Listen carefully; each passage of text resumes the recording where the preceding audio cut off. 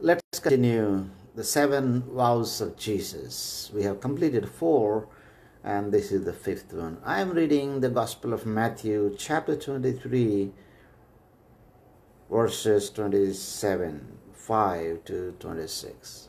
Gospel of Matthew, chapter 23, verses 25 and 26. Woe to you, teachers of the law and Pharisees, you hypocrites!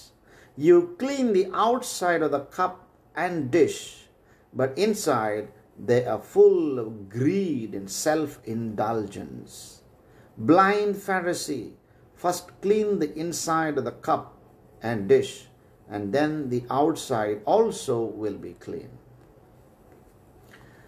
There is a temptation to practice hypocrisy in any religion. Temptation to be so good outside. It looks like we are so holy outside, which is important. But God looks at inside holiness because God always looks at inside. Because God lives in our heart. Jesus said, Blessed are the pure in heart, for they will see God. But many a times, religious leaders, Jesus is attacking these religious leaders, poor innocent believers. They always, you know, faithful. They cry, they weep, they fast, and they want to be good in inside and outside. But the problem with the religious leaders, the teachers of the law, to that community, Jesus says, "Oh, to you, teachers of the law and Pharisees." Those who are the teachers of the law and the Pharisees were the religious leaders. Even today in Christian church, you know, across the globe, believers, you know, the ordinary believers are always they look to God and they're honest and they try to be please God, but it is the problem with the religious leaders. Oh, to you, the teachers of the law and Pharisees, you hypocrites. These religious leaders, mostly hypocrites.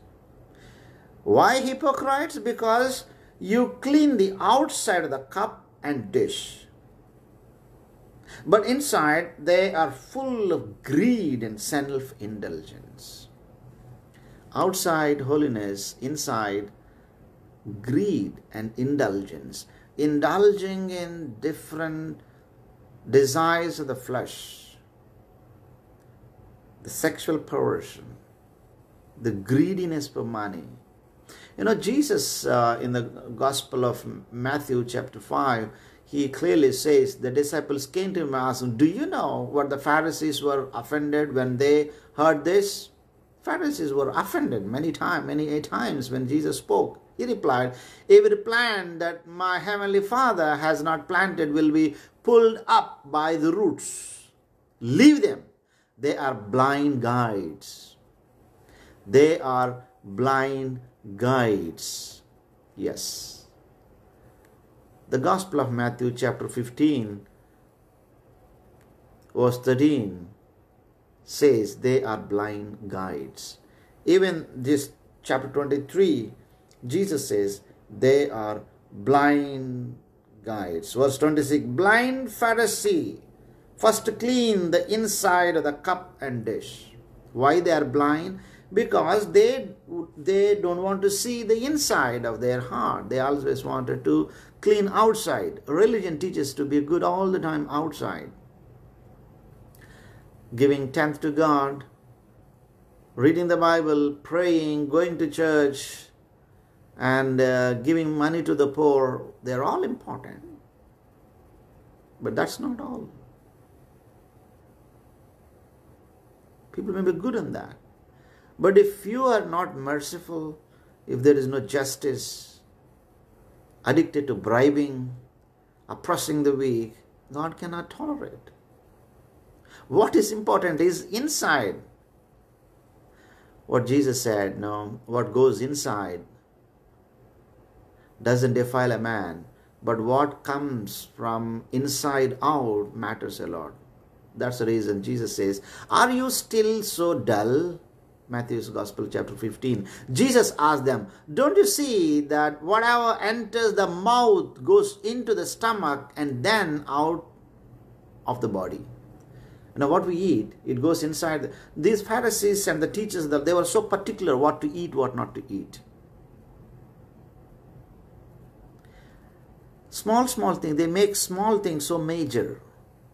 Jesus says, What eat, you know, you eat, it goes, it digested, and it goes as a stool. Finish. But the things that come out of the person's mouth came from the heart.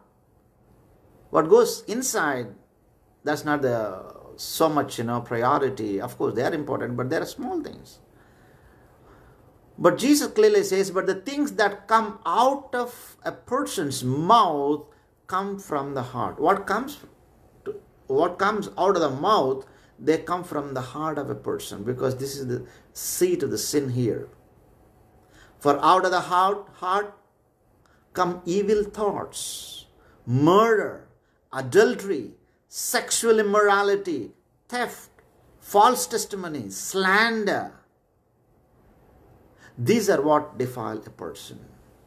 But eating with unwashed hands does not defile them. These Pharisees and the teachers of law, they were so particular. You wash your hands, you know, you, you, so much religious rules and regulations, which are important, but they are not major things. Making minor things as a major and major things are minor. In that context, Jesus says, Oh, to you, teachers of the law and Pharisees, you hypocrites! You clean the outside of the cup and dish. What is the outside? You know, it's all religious rules and regulations. Blind Pharisee, first clean the inside of the cup and dish. Clean the inside of your heart, cup and dish. And then the outside also will be clean. Once the inside purity maintains, the outside automatically, your religion, religious practices will be good. May God help us to be pure in our heart because Jesus said, Blessed are the pure in heart, for they will see God. Thank you, friends. God bless you. And we have completed five woes of Jesus. In our next teaching, we will look at the fifth woe.